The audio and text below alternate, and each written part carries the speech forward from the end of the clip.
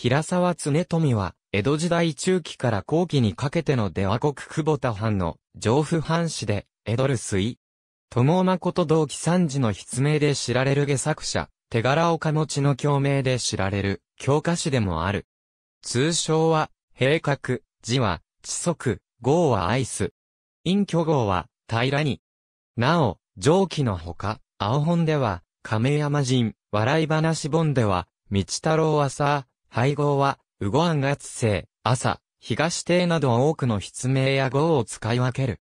江戸の武士、西村久義の三男として誕生。14歳で、母方の縁石にあたる久保田藩士、平沢家の養子になった。なお、養子先は、愛水流剣術の祖、愛水交際の子で永禄7年に、佐竹義重に仕えた、小七郎総通を祖としているとされる。天明の頃は、藩のエドルス教約筆頭で、120石取りであった。当時のエドルス教約は、江戸藩邸を取り仕切り、幕府や他藩との交渉を行う、一種の外交官に、相当した。若い頃から、法暦の色男と自称して吉原通いを続け、勤めの余儀に手掛けた高表紙のジャンルで、多くのヒット作を生んだ。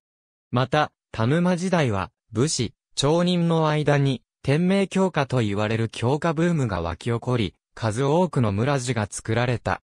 常富も手柄岡持ちや楽品王という名で強化の連に参加していた。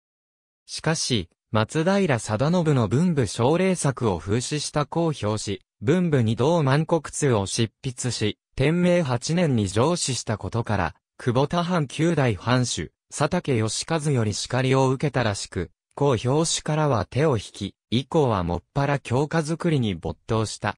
子、為八や、孫、左前も江戸留守居を務め、用人にも就任した。役職上、須原や万武官に、久保田藩士として登場する。佐竹義和家臣参照。ちなみに、主君の佐竹義和の号の一つに、地則祭がある。